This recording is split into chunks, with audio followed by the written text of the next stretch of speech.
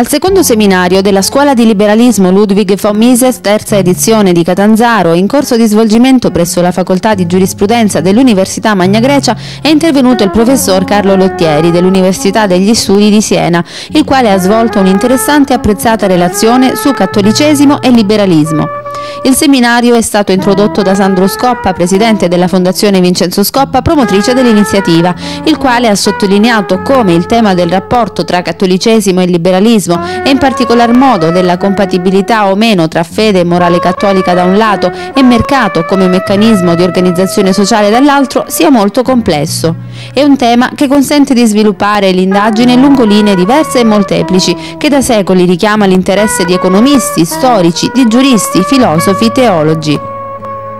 Il professor Lottieri ha poi svolto la sua relazione muovendo dalla considerazione che nel corso degli ultimi due secoli la riflessione sul rapporto tra cattolicesimo e liberalismo si è sviluppata attraverso una riflessione sulla possibile compatibilità o meno tra la Chiesa e la teoria politica che pone al centro la libertà individuale.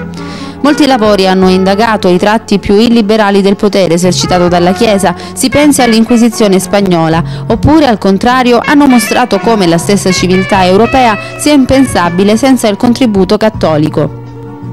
Una parte notevole si è anche orientata in direzione delle ripetute tensioni esistenti tra i movimenti liberali e il mondo cattolico, oppure verso quell'importante tradizione di pensiero da Acton a Bastia, da Rosmini a Einaudi a Sturzo, che ha visto armonizzarsi la fede in Cristo e una difesa dell'autonomia dei singoli.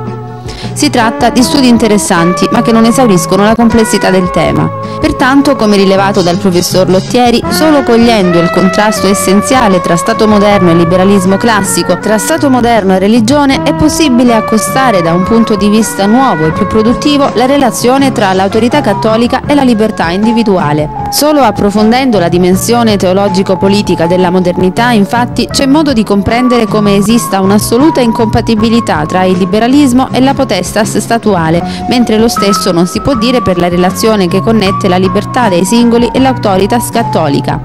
In questo senso io credo che oggi si debba capire l'importanza di una cooperazione, un'intesa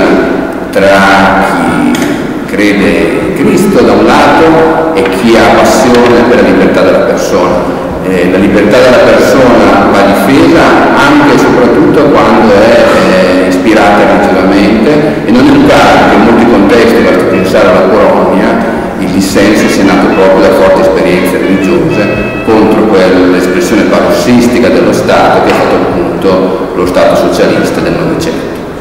Al seminario hanno partecipato numerosi iscritti alla scuola, i quali alla fine della relazione hanno avuto modo di proporre le loro riflessioni sul tema trattato e interagire con il professor Lottieri. Il prossimo seminario, il terzo della Scuola di Liberalismo 2011, si svolgerà il 4 febbraio prossimo alle ore 15, sempre presso la Facoltà di Giurisprudenza dell'Università di Catanzaro. Interverrà come relatore il professor Pier Camillo Falasca, il quale tratterà il tema Soldi pubblici e soldi privati, il problema dei mezzi economici.